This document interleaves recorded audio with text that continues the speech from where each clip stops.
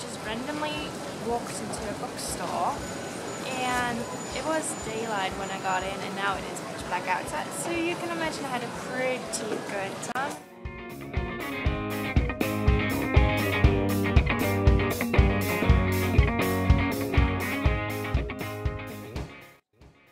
I was looking at all the books and I looked manga because they're just so pretty with all the artwork and the drawings and colors and but they were not. There were lots of text in them.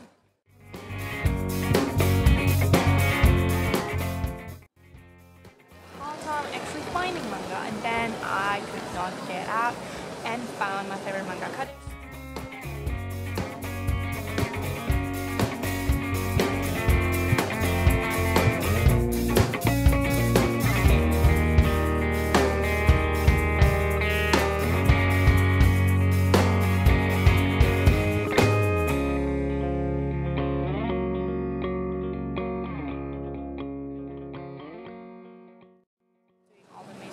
They did back then when I was an avid collector and I found the book and I could not resist but buy it.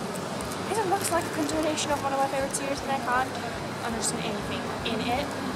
But these great pictures and I'm happy. And if you know, you know what? This is like a fifth the price of the one back home. I kind of feel cheated